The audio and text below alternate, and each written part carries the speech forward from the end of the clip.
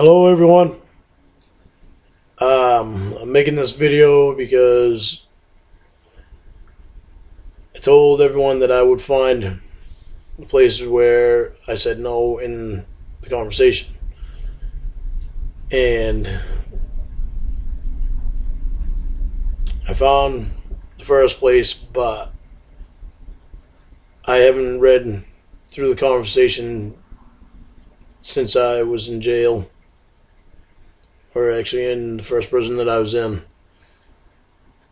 And after I found the first place where I was saying no, I couldn't go any further because I was disgusted by the conversation.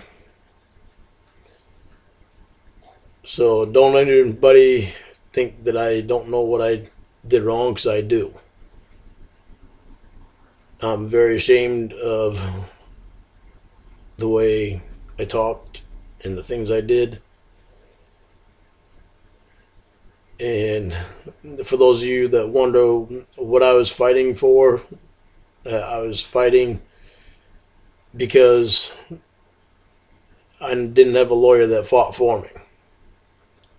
And it's not that I didn't think that I should should not have spent time incarcerated for what I did. I my sentence was not what it should have been, and I was fighting for all the the legal aspects of, the way things happened and should not have happened. For one, NBC never should have been there. The media, it's illegal for the media to be there. Period. And uh, but I'm not going to go into that. All I all I'm going to say is I've served my time and I am no longer going to discuss anything about my case. I am going to concentrate on my music and the show and um and that's it. Um, for all of you that want to talk about case, go ahead. But if you ask me any questions, I'm not going to answer them because you guys can't handle the answers when I give them to you anyway and you think that I think that I'm right about everything that has to do with it. I'm not right about everything. I'm not right about what I did. I was not in my in my right frame of mind back then. I had a lot of things that happened to me. I was messed up, and even in the conversation, I said I was confused. But none of it justifies what I did. And what I I know what I did was wrong, and I'm disgusted by the conversation. That's why I couldn't read any further than what I read.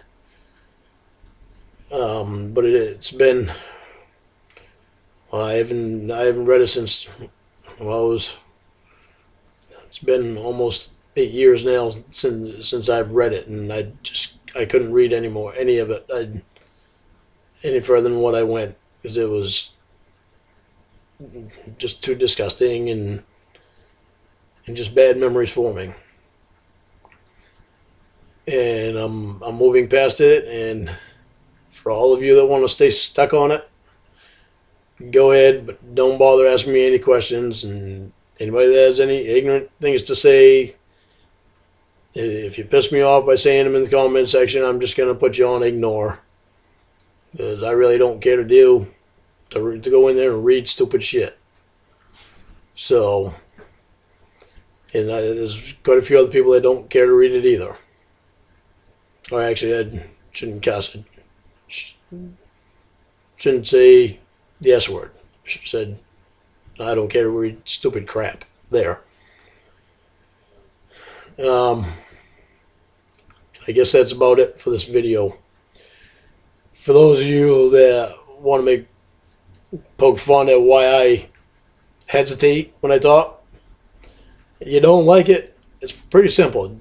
Don't listen to it. And, I mean, obviously, there's something about it that you must like because you're listening to it over and over and over again. And it's if you don't like the way somebody talks, don't listen to it.